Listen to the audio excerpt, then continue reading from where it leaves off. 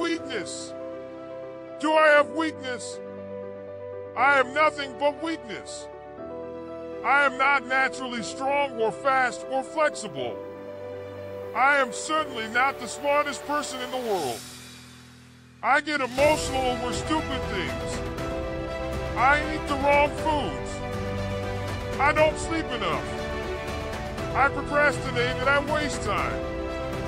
I care too much about meaningless things and not enough about important things. My ego is too big. My mind is too small, often trapped inside itself. Now, all that being said, I have a saying. A person's strength is often their biggest weakness. But the weaknesses can become strengths. I don't accept that I am what I am. And that that is what I'm doomed to be. I am fighting. I am always fighting.